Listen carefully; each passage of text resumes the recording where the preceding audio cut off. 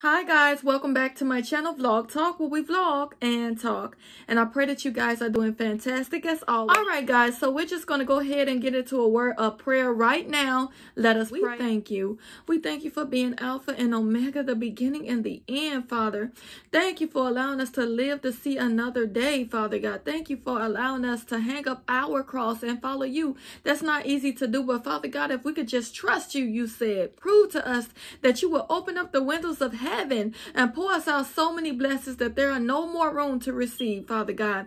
And I thank you for that you are not a man that you should lie, as it says in the book of Numbers, Father God. You cannot lie. You are not a man. You are a spirit and you cannot lie, Father God. You cannot forget. Father, I thank you, Lord God, for not being able to lie or forget, Father. I thank you for your blood this morning. I thank you, Father God, for being Alpha and Omega, Lord. I thank you for blessing each and every individual, Father God, that is tuning in right now. I thank you that there are Psalms 91 equipped and their families, Father God. I cover them with your blood. They had every need met, Father God, in the name of Jesus and all that agree said.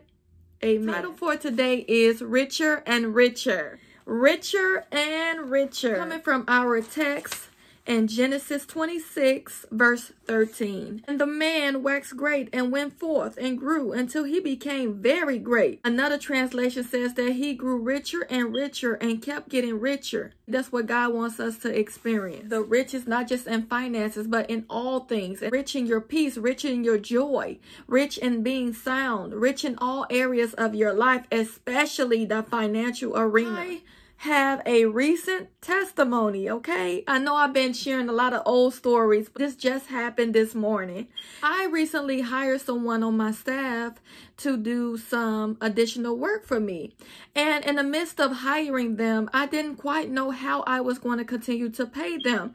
And I began to have all types of headaches about it. I began to have soreness in my uh, shoulders about it, which is stress. Okay. And I began to feel the weight and the pressure of this issue. And so I began to speak the word only.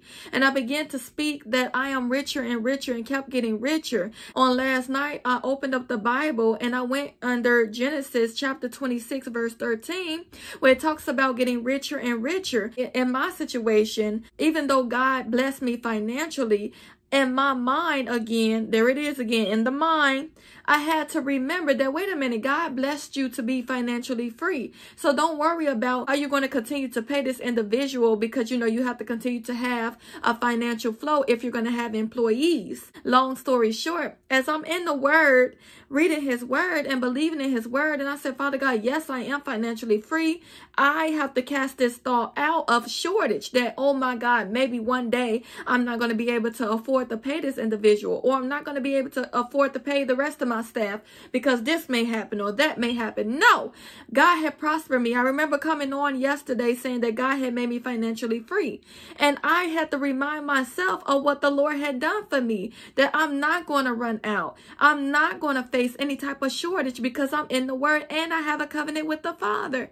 So as I began to study his word, I began to meditate. There it is. I began to meditate and see the camels coming the next day. I had a thought to check my my bank account and I checked my bank account and I had an overflow, supernatural overflow and money that showed up in my account. The Lord did this. I was able to continue to pay my workers. Do you hear me? This is supernatural overflow. This is overnight. This is overnight blessing. Say overnight blessing. Talking about waking up and seeing the answer. I woke up. I had the issue last night. I went before the Lord and began to give him the praise and I woke up with the answer already manifested. Do you hear me? That's quick manifestation right there. God has given you riches. He's giving you riches according to Psalms 112 and 3. Wealth and riches are in your house. See, I had to quote that scripture and I had to believe that in order for the word to become flesh. We got Isaiah 45 and 3. God has given us the wisdom to attract the wealth in hidden secret places. See, these places are hidden and secret. These are secret places that no one knows about but God. But he's given us the wisdom to attract and find out. It's kind of like hide and go seek. As these riches hide, we begin to go seek these riches and know exactly where to find them because of the wisdom of God. He has given us wisdom to attract the wealth. Proverbs 3.13 says, long life is in her right hand and in her left hand are riches and honor. So you got riches and honor in your right hand. In your right hand are riches and honor. This is a part of the covenant. This is a part of the blessing that activates the blessings. Remember that? It's a part of the blessing, which is all a part of the covenant with the Father. It's going back to the covenant. Abraham had a covenant with the Father. He went from Abram to Abraham, all because God had established his covenant with him. Sarah became Sarah to Sarah. He changed their names. So after they established their covenant, their name began to change, just like when you get married, your name changes, and also everything else in your life changed. Everything else in Abraham and Sarah's life changed. They were the wealthiest couple alive. Do you hear me? Abraham was able to own every piece of land from the north, south, east, and west. God delivered it unto his hands on this day, giving him a hundredfold. Now, verse 18 and 18 says, Riches and honor are with me, enduring wealth and righteousness. So righteousness attracts the wealth as well. We just learned that righteousness attracts riches. Righteousness attracts the riches into your life. According to Proverbs 18 and 18, it says, riches and honor are with me. So riches and honor are with you and the inside of you. Why? Because God is in the inside of you and greater is he that is within you than he that is within the world. Enduring wealth, the other half of this verse says, enduring wealth and righteousness righteousness. See, Abraham was righteous because God made him righteous, not because he was just Abraham. No, it's because he established a covenant with the Father to attract the riches. Abraham was very uh, rich. And what about his son Isaac, who sold in his land and also meditated on God's word? So meditation will magnetize the camels. It has the riches, I believe, because that's what happened to me this morning. I meditated on God's word and I began to see an overflow of riches in my account. So I saw the camels coming, just like Isaac. And then I also pay my tithes. I sold 10% of that back into the ministry. And just like Isaac, he sold in his land and received in the same year a hundredfold. See, when you sow, when you tithe, it's connected to the riches.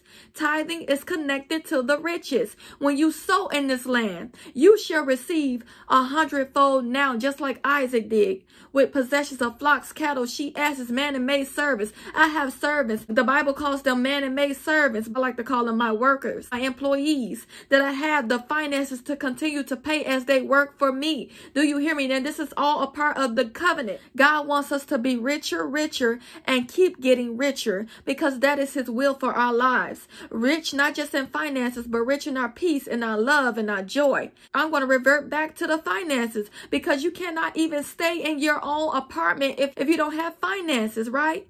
You can't even keep a staff on your payroll if you don't have the finances. You do have to have the faith, but faith know what you need. The faith goes out and get the finances, right? It goes out on the field and get what you need. And what you need is riches in all arena. Because that is the will of God for you to prosper and be in health even as your soul prosper. Remember, Remember, I said I sold in this land. So in this land, just like Isaac, you will begin to get richer and richer and richer and richer. And you'll be able to bless people who are in need. You will be able to be a walking supply house for others.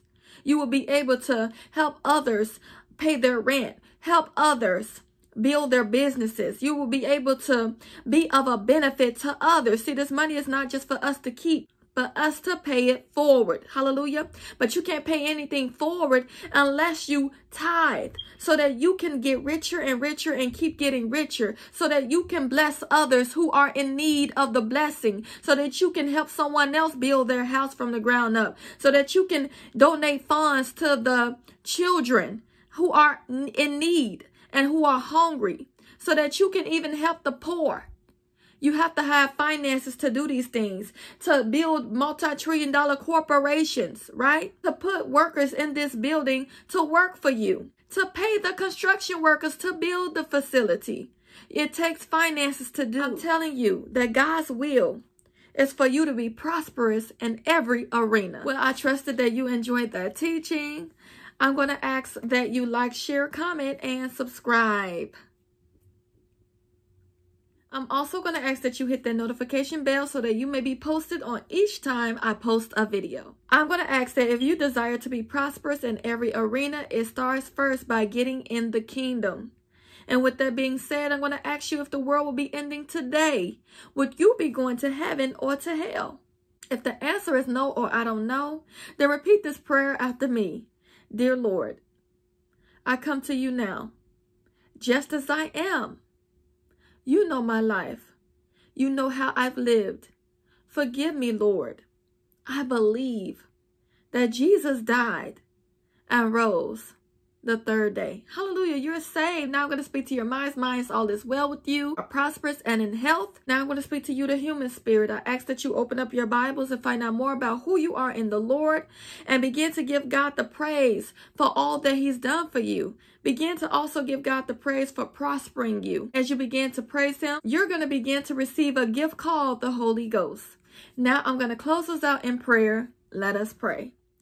Makaha yoro shible heko ho yorosti, pakaha yorosti ble heko ho yorosti.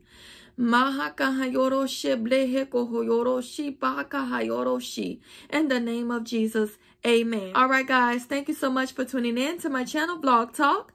And it's always a pleasure to vlog and talk.